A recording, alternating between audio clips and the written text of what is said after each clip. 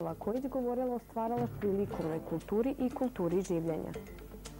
Nema likovno vaspitanog čovjeka bez određenog znanja iz oblasti umetnosti i bez osetljivosti za likovne vrednosti jedne od tvrdnji magistre Miroslave Kojić, koja je sinoć u svečanoj sali Kulturnog centra upoznala prisutne sa temom radionice. Prema njenim rečima, namera ovakvih predavanja radionice je da se kikinskoj publici predstave različiti oblici i kreativnosti i kreativni ljudi koji žive i stvaraju u Kikindi.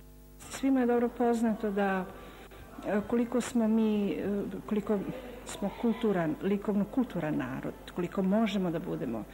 I poznato je da su ovaj, veliki uticaj u porodici mogu biti koji mogu da uh, utiču na dečiju kreativnost, likovnu kreativnost, a ako vi detetu uskratite bilo kakvu kreativnost, pa i likovnu, vi zapravo utičete na formiranje njegove ličnosti.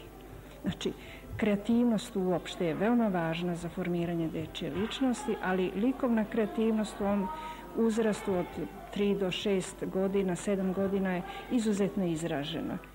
Svako umetničko delo nosi neku umetničku poruku. Bitno je prepoznati umetnost u drugima, ali i u nama samima, što i predstavlja cilj ovakvog vida komunikacije između umetnika i publike, objašnjava urednica govorno-tribinskog programa u Kulturnom centru Gordana Perunović-Fiat.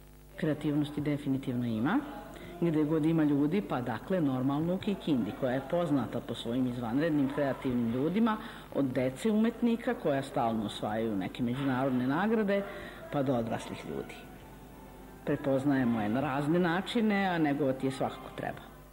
Prisutni su kroz mali slikarski test mogli da primete da je svako likovno delo fizička pojava i da kao takva nosi motiv, temu ili povod, likovni materijal, oblikovanu strukturu i likovnu poruku na koju je ukazao jedan od saradnika koji svaku umetnost gleda i sa one psihološke strane onoga koji stvara umetničko delo, psiholog kulturnog centra Nenad Adamov. Radionice sličnog sadržaja prema rečima organizatora imaće svoje termine u kulturnom centru, te će kikinska publika moći svojim učešćem učeći likovnu kulturu da upoznaju istoriju i teoriju likovne umetnosti.